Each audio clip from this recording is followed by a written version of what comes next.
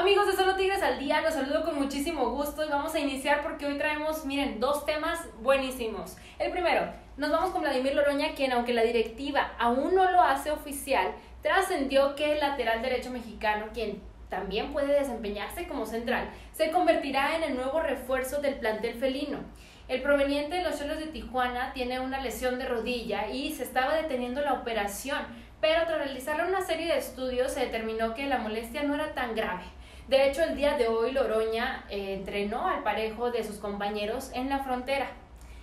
Vladimir Loroña, les cuento, tiene 23 años de edad y formó parte de la selección mexicana que conquistó la medalla de bronce en los pasados Juegos Olímpicos de Tokio. Y pues bueno, se espera que en las próximas horas los altos mandos felinos hagan oficial la contratación, la cual sería una venta definitiva.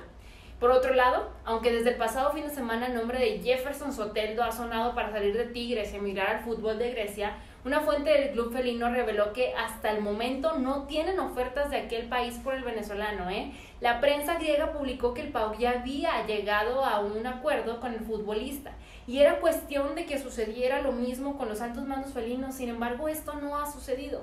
El informante comentó que la idea con Soteldo es encontrarle acomodo en algún otro equipo y aprovechar su plaza de no formado en México con la contratación de, una, de un defensa central, aunque por lo pronto seguirán contando con él aquí en el Club Tigres. Y pues bueno, vamos a ver qué es lo que sucede en las próximas horas o en los próximos días con estos dos jugadores para marcar a lo mejor un futuro positivo o negativo, no lo sabemos, para el Club Tigres. Esto es todo por hoy. Nos vemos en la próxima aquí, en Solo Tigres al Día.